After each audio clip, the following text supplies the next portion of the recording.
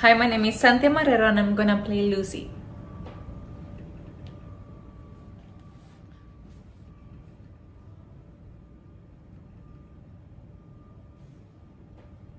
Hey, I know you. Kyle Jones, right? I'm Lucy.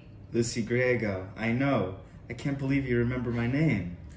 Why wouldn't I? You lived on Mount Olympus, the hottest of the hot, most likely to everything, homecoming queen. So, did you end up with your homecoming king?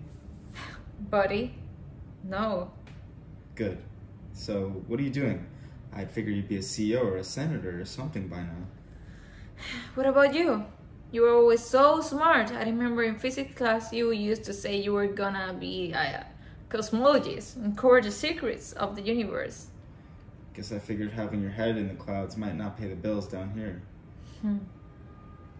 Life kind of gets in the way sometimes, huh? Yes, it does. So I studied accounting, so I could uncover the secrets of being a busboy. Hmm. Well, I better be going. It was nice seeing you, Kyle. Go out with me. I'm sorry, I shouldn't have said that to you, but it's just that. Uh, Kyle. do you know what game theory is? No, but I. Well, game theory involves risk, what you have to lose, and basically I had nothing to lose by asking you out. How about dinner tomorrow? What? You never gave me a chance to answer. So, is a date?